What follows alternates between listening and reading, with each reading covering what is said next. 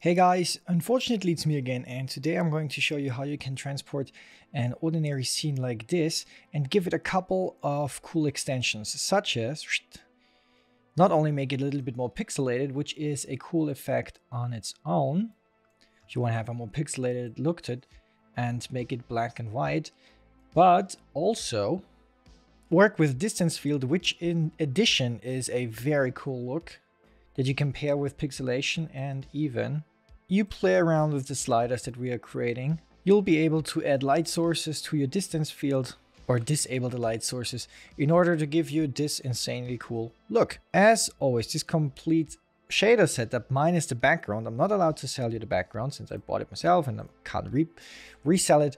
But this shader setup that we're going to go over in a second is available on my Patreon uh, if you look at other shader setups on my YouTube channel, you can find all of them there as well. You can download all of them for five bucks or like whatever my subscription cost is right now. But if you don't want to sit through it, head over there, download all of this and maybe the other ones as well. Okay, before we start, again, here is my pitch, subscribe and like if you want to, leave me a comment.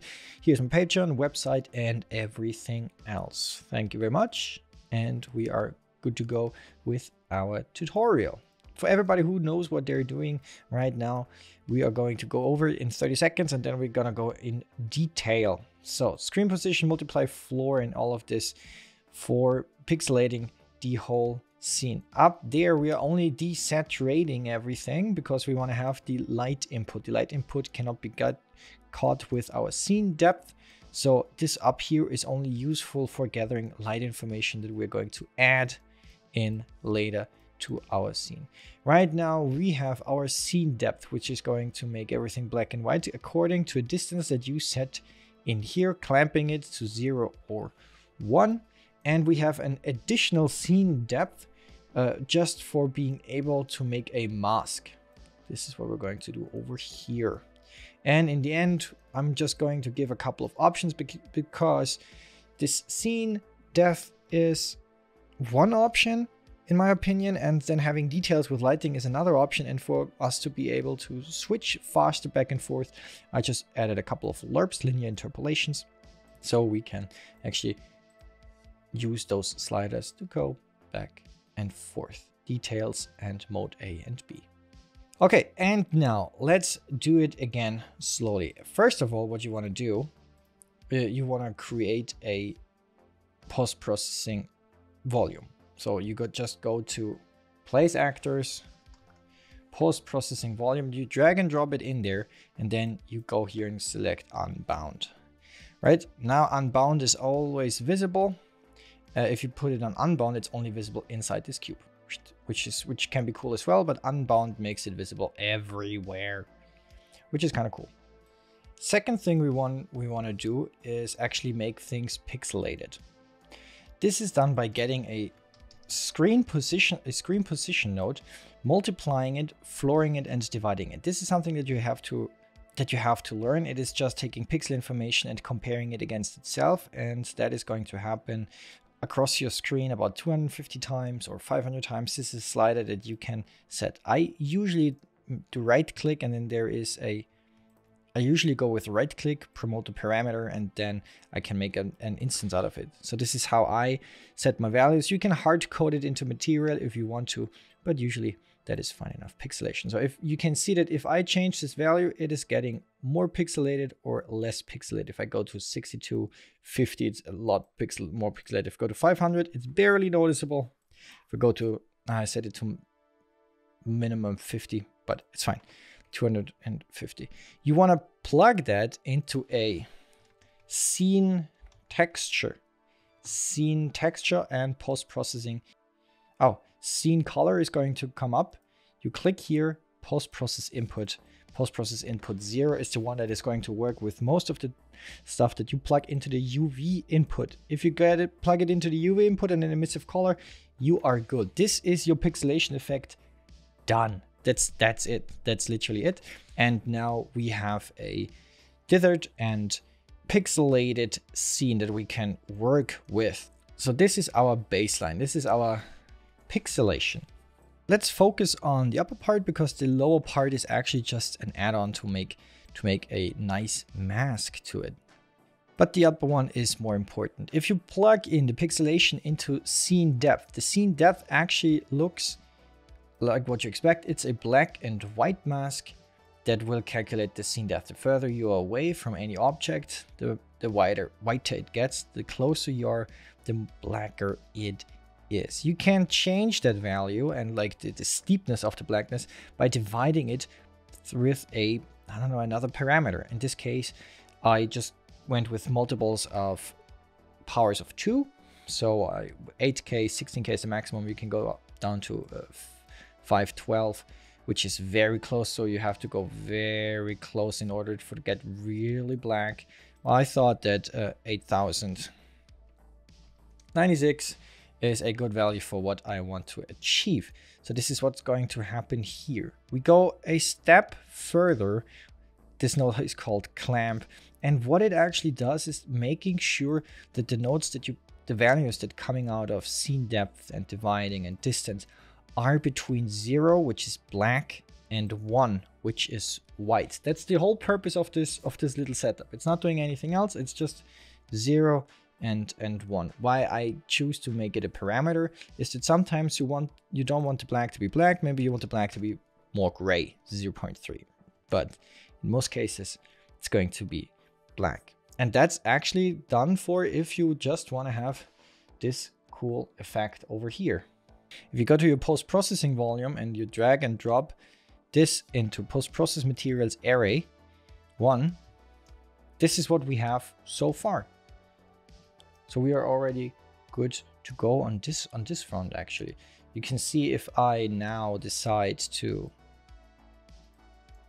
change the value in here to 2048, the fog is much brighter much closer. If I say, if I go all the way up to 16K, stuff that is closer to me is going to be black and it's just a much more gradient background.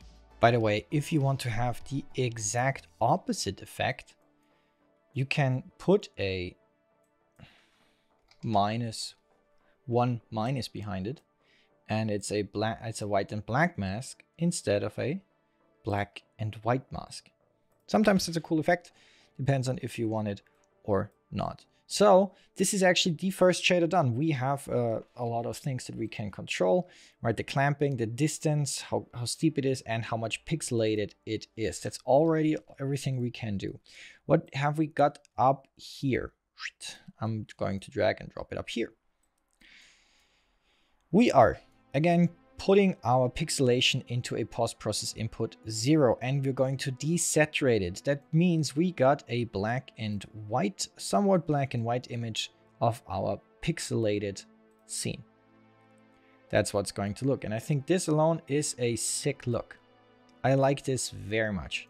I want the I want the option to have a hybrid between those two options, which means I will separate on lightness value because we can crank up the light of this lamp and according to this, I want to be able to get shadows, lights and everything into my black and white mask. So what am I going to do? And this might be a little bit more of a complicated setup.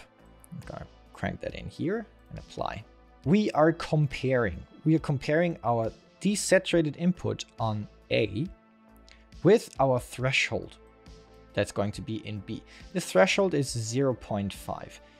Uh, the higher the value it is, the higher the value of the lightness of the input A is going to be compared to. And now we have three conditions. It's comparing the lightness values, right? White to white, black to black, and everything in between. If a pixel in A, our desaturated image, is lighter than B, 0.5, it is going to display our desaturated image. If it is equal or darker than 0.5, I said it's going to display our scene, but made it darker by multiplication, which means the lower this number is, if you, you know, multiply by zero, it's completely black. But if you multiply by 0.1 or something, it's just very, very dark, but not completely black. So we are comparing against this value. Everything that is brighter than 0.5, 1 is the maximum, 0 is the minimum. Everything that is brighter than 0.5 is going to be displayed as our desaturated value. Everything that is darker will be displayed as our very much darkened image.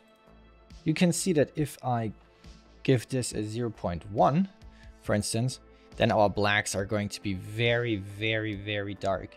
If I give this a 0.8, which I wouldn't, our blacks are basically just shadow information because our blacks are now higher than the threshold. So you have to at least keep it below the threshold. That's what I would suggest.